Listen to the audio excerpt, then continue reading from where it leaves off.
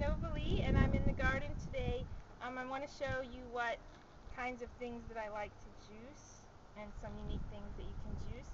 Um, but first I just wanted to go to the spinach bed over here because this looks like a spinach bed, which the spinach is really delicious, but it's kind of sparse so we're not allowed to pick it that much. But in between the spinach are what looks like maybe weeds and they actually I think they are a type of weed but this is like chickweed and it's so good. It's tender and sweet. It's not got any kind of bite to it. And you can just go in between your spinach leaves here and pick tons of chickweed and they make a great salad. And then so this is what's all growing in the garden right now. Arugula I love this in salads um, but not so much in juice. I'm not going to pick that one. And then there's all the lettuces along here, but usually I like to juice the darker greens, even though you can juice any kind of lettuce. These are the fava beans.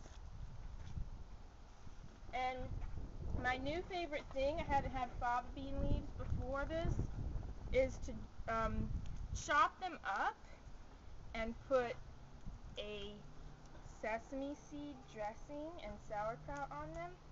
And I've been having those like every night. But you can juice these too. They have a really um, mild flavor, but very distinct flavor. And then over here is the kale bed.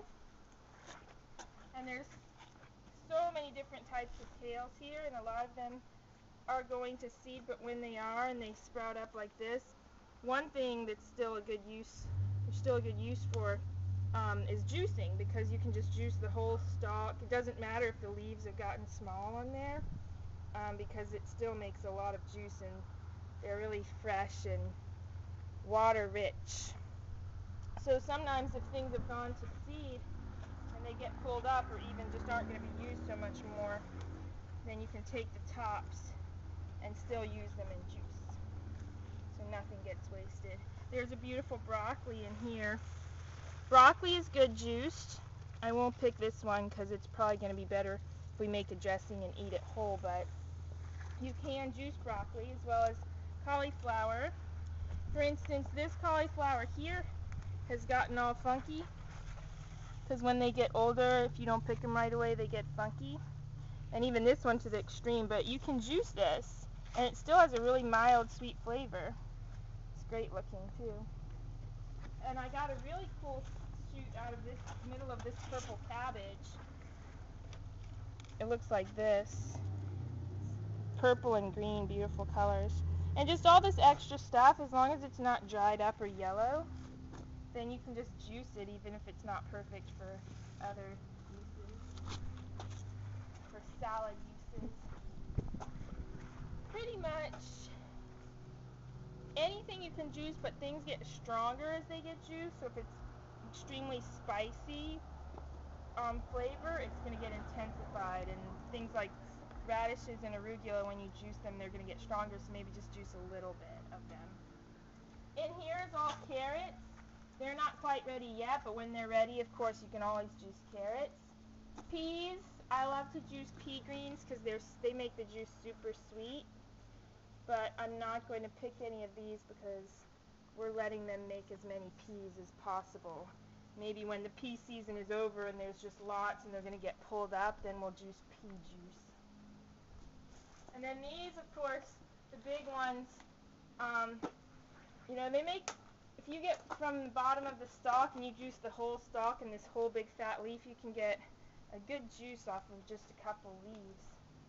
Um, chard is always good. Wow, look how big this spinach got.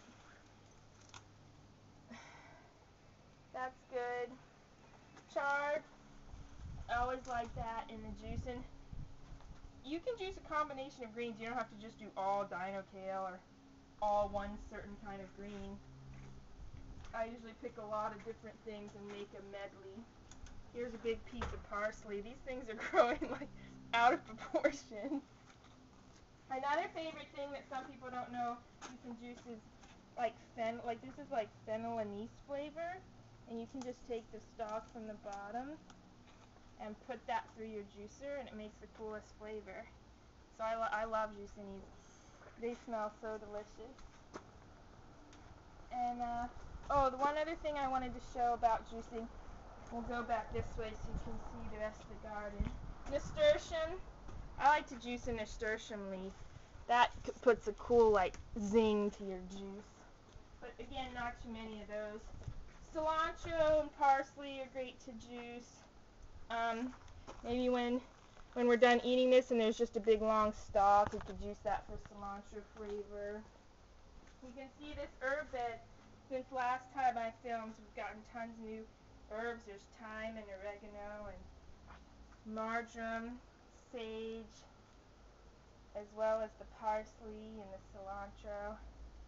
But usually we don't use that many herbs just because it's so nice to have those flavors in your um, chopped up in your salads. There's even chives, and I know I've seen recipes where people juice onion into their juice for a little onion flavor, or a little clove of garlic into a veggie tomato juice. I've never done that before, but apparently quite healing. You could use pansies, but that would be a waste because they're so delicious to eat just how they are. Pansies have this really cool flavor, you can't even describe it. Oh, and here's the fig tree and it has little baby figs on it. So we're looking forward to fig season. Those are my favorite. Yeah. That's the fig tree. Okay, so I just have to show the sorrel.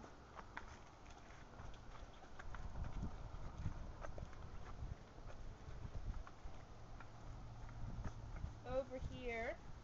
Okay, well this is just bolted types of greens and the you can always juice the stems. These are like way too tough to eat. That was really hard to pick. It's very fibrous, but just put it through your juicer and you squeeze the valuable juice out of it. Flowers and all. Get a little pollen in there. What I really wanted to show you was the sorrel, which is back here. And it looks kind of like clovers, and it has these yellow flowers. And these, when you put them in the juice, they make this nice, refreshing lemon tang kind of flavor It's very unique. And you can get the stems and the um, these clover parts as well. It's not just the flowers. And this stuff is really good. So usually I'll probably pick a few more different greens here. And oh look, there's a whole bunch of more of that there. I'll probably pick a few more greens. Look, here's some different colored chards. Got the yellow chard. Beautiful colors. Get a nice variety of colors. And the red chard. This is one you see in the store when you can buy rainbow chard. There's even like this almost like candy cane pink striped one. This is going to be my favorite. Look at this color. Who's in the bushes? Film Penny. Who's in the bushes? Are you ready for your green juice, Penny? Penny looks like she rolled in some dirt. She's a grass eater, but she'll probably throw that up a little later on. Okay, so I'm going to pick a few more things and then go in and make my green juice. I'll mix this with some celery. Celery's on sale right now. And some cucumber and then just as much apple as you need to make it taste yummy or sometimes a slice of lemon and that will be the juicing of the day. So that's all the different things you can grow. and this is March um, 20, 20 something in Northern California. So those are all the things you could have growing in your garden if you get to gardening.